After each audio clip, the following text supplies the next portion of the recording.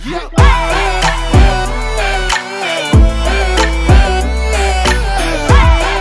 ਦੇ ਬਹੁਤ ਹੀ ਸੁਰੀਲੇ ਗਾਇਕ ਅਤੇ ਅਦਾਕਾਰ ਐਮੀ ਵਿਰਕ ਫਿਲਮ ਇੰਡਸਟਰੀ ਵਿੱਚ ਵੀ ਕਾਫੀ ਨਾਮ ਕਮਾ ਚੁੱਕੇ ਨੇ। ਐਮੀ ਵਿਰਕ ਨੂੰ ਪਸੰਦ ਕਰਨ ਵਾਲੇ ਦਰਸ਼ਕਾਂ ਲਈ ਇੱਕ ਬਹੁਤ ਹੀ ਵੱਡੀ ਖੁਸ਼ਖਬਰੀ ਹੈ ਕਿ ਜਿਸ ਨੂੰ ਸੁਣ ਕੇ ਉਹਨਾਂ ਦੇ ਚਿਹਰੇ ਗੁਲਾਬ ਦੇ ਫੁੱਲ ਵਾਂਗੂ ਖਿੜ ਜਾਣਗੇ। ਦਰਸਲ, ਐਮੀ ਵਿਰਕ ਬਾਲੀਵੁੱਡ ਵਿੱਚ ਆਪਣਾ ਡੈਬਿਊ ਕਰਨ ਜਾ ਰਹੇ ਨੇ।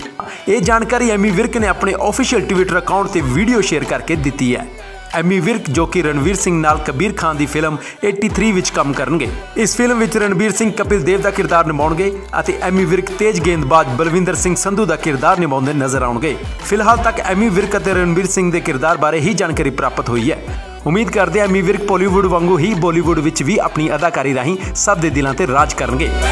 ਤੁਸੀਂ ਦੇਖਦੇ ਰਹੋ ਵਿਰਸਾ ਲਾਈਵ ਟੀਵੀ।